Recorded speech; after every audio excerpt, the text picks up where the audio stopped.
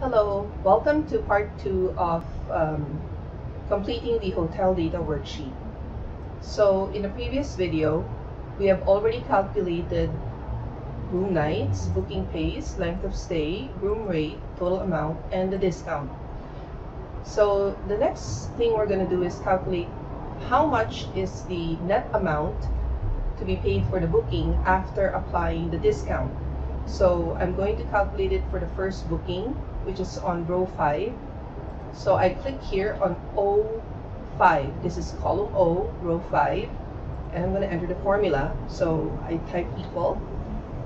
So we take the total amount for the booking minus any discount. So M5 minus N5. And when I press enter, I get uh, this strange looking string that says pound sign NA. So there seems to be an error. And it says the value cannot be computed, it's not available. The reason is we are taking a number and we are subtracting um, an unknown value from it. So, uh, and the reason this is unknown is because there was no discount for this booking because the promotion code is blank. So we have to take care of this uh, not available error here because as long as we have this not available error, we cannot do the subtraction over here. So let's go back to this formula. So instead of displaying NA, we should try to catch if there's an error. If VLOOKUP returns an error, our discount will just be a zero because it means the promotion code is either blank or it wasn't found. So how can we do that? There is a function called if error, and I'm just going to type it here, if, okay, and you'll see it's if error here. I'll double click. If error, and this function, if error, takes a value. And if this value is error, that means if it starts with a hashtag like this, is an error, then we will use another value. We will return another value if this uh, formula or function returns an error. So the first argument is the value, so it's the VLOOKUP. And if this VLOOKUP returns an error, the second argument is the value that we're going to use instead of the value returned by VLOOKUP. And that way, we can return a zero. So again, the if error takes two arguments. The value that we're going to check. And if this value is an error, we return the second argument. If this value is not an error, then we simply return what the VLOOKUP uh, returned. So now when I press enter, you'll see that it appears as a dash. And the dash is simply a zero. Um, that's because I formatted it as accounting up here. If I go back to a number, you'll see it's just a zero. Okay? But uh, it's uh, nice to show dashes instead of zeros, so that's why we have accounting here. So I'm going to go to more number format. So the original, uh, the original format was accounting, and we do not want to show a symbol right? Okay, so that's why we're showing a dash. It's just a format. So now that we know the value here is a zero because it's NA, so now I can subtract.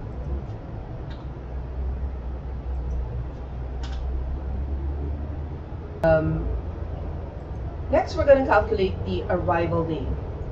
So for the arrival day, we want to know which day of the week this booking is going to, the guest who made this booking will arrive and check in. And the arrival date is in um, F5. So we need to know if uh, October 20 is a Sunday, Monday, Tuesday, and so on. So we're going to use a function called text. Okay, so I type equal and then text. What text will do is it will take two arguments. Okay, it will take two arguments, you'll see here. The first argument is the value. And then the second argument is the format or the instructions on how we want to display the value. So our value is the arrival date. So that's our first argument. But we want to display the arrival date as the day of the week. So to display it as the day of the week, the format is, okay, and you put the format in double quotes, D, D, D, D, all right? So four Ds. Okay, now press enter, and you'll see that it's a Sunday. So it simply takes whatever value you pass to it, which in this case is arrival day, and it applies a format. And the formats, uh, it takes time to learn what the formats are, and there's quite a number of formats. But if you want to have an idea what formats are possible, you can go to uh, this drop-down list under number. You can go to more number formats, and over here you can see there's custom. You'll see there's all kinds of formats here. Okay, and there's format for D, that's day, there's M, and there's YY. So formats are just like rules that, that you describe how you want the, the values to be displayed. Now, one interesting thing here is if you just put three Ds, because D stands for day. If you just put three Ds, it's going to show the arrival, but in three letters. Okay, but I think we want to see the whole uh, weekday name. So I put four Ds, and that will show Sunday. And we do the same thing for the departure day. So the weekday for the departure day is simply apply the text uh, function to the departure date. And the format code is also in double quotes, DDDD. Alright, so we know that this uh, guest arrived on Sunday and checks out on Thursday. So now we take these three formulas because we just updated them and then we're gonna drag it down to the rest of the rows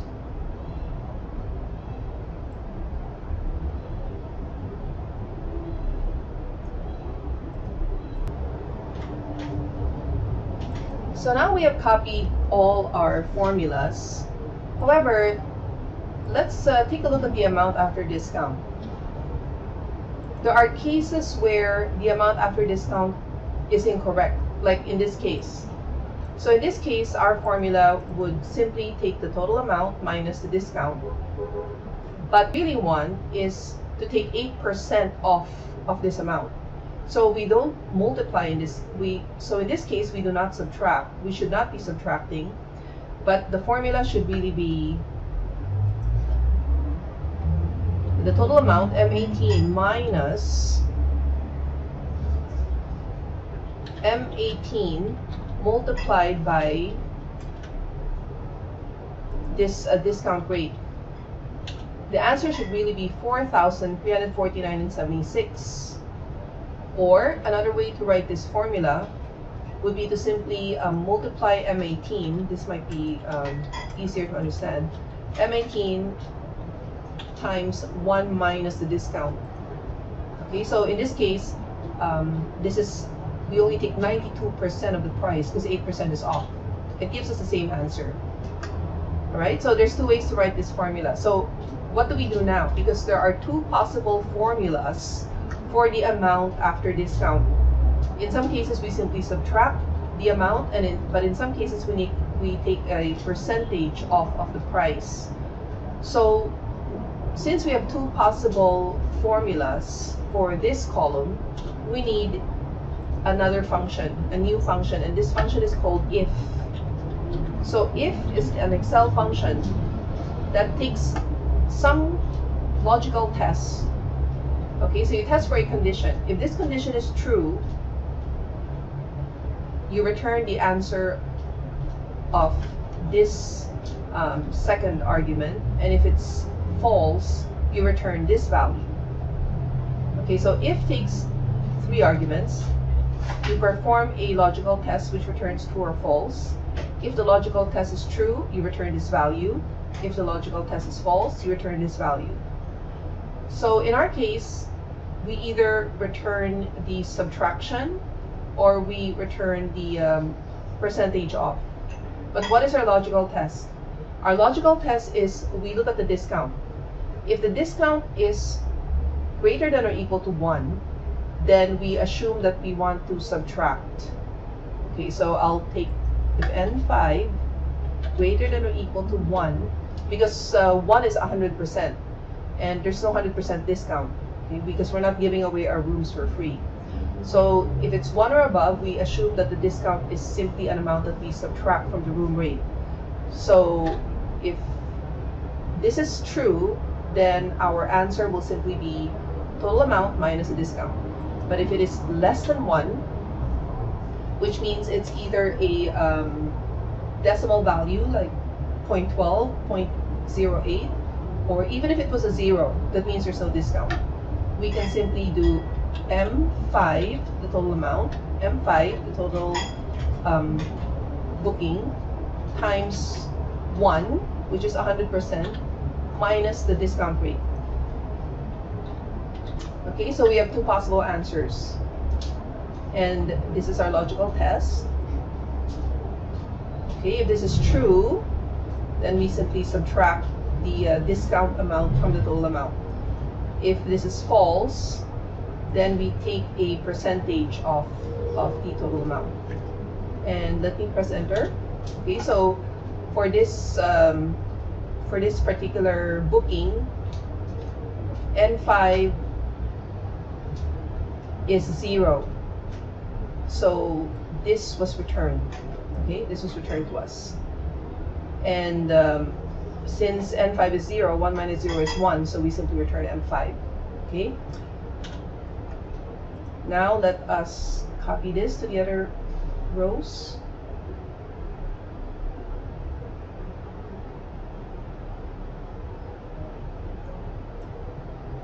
Okay, so now you'll see that, uh, let's check if all the conditions are true. So in this case, we have zero discount amount, and you'll see that it's still the same, 6,880. In this case, we have 8% off, and now you'll see that um, the total booking was 6,750, and 6,210 is 92% of this amount. And for 12%, this is 88% of this amount. Okay, and this amount is 6,720 minus 299. So we have confirmed that now our formula for the amount after discount is correct. And now we are done with hotel data. We have got all the answers. Now, the next part is you need to add five bookings of your own. And of course, you would add it down here. And uh, so you'll add five bookings over here. And the reason why you need to add five bookings of your own is uh, we want to make sure everyone's um, activity file is different.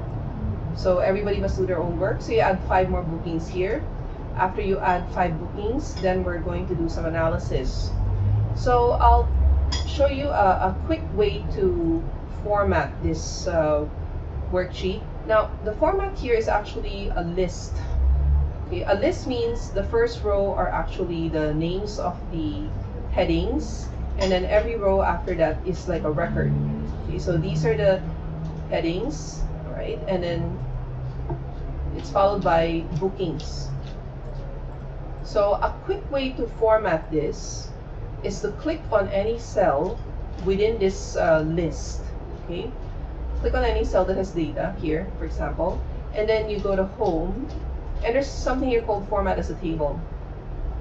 And uh, so since our format follows uh, this arrangement, right? The first row are headings followed by records. Then we can pick any one of these. So I think I'm just gonna go with uh, this color. So I click this one. Okay, and it's asking me where's the data for your table. And it automatically detects where my table is. So A4 is my upper left hand corner and Q95 go all the way down there to confirm Q95 over here Q95 is my lower right hand corner and the first row has headers. Okay so my table has headers is this one. So then I click OK. And you will see that it quickly applied that format to my table okay we call this an Excel table and you can do this if your data is organized in this um, with this structure. Now, what are the arrows here? These are actually filters, so you can actually query your data. So let's say I just want to see all Americans, I can just click Americans, and it will filter my data. Right? And if I want to see get them all back again, I can select all, and all my data will come back. So let's turn them off. I go to Home. I go to Data, and there's applying the format uh, to this table automatically added the, the filter, the filters turn on the filtering. So I'm gonna switch it off so the filtering is gone. And one of the benefits of formatting your list as a table, like what we did here, one of the benefits is now when I enter my data here, so I'm gonna start with a new booking number. Okay, and uh, let's, um, okay, I put the nationality. And let's um, assign this uh, nationality a room type. So maybe I'll put him in an executive. Now, when you type your room type, it must be one of the valid room types. So, okay, Excel tries to autocorrect. Okay, and then number of rooms, uh, let's just give this one room. And then booking date. Now, for the booking date, it has to be before um, October 18 or 17, right? So uh, we'll just say that the booking date is um, sometime in in June. All right, so let's say 21 June 2019. Okay, arrival is 19 October and departure is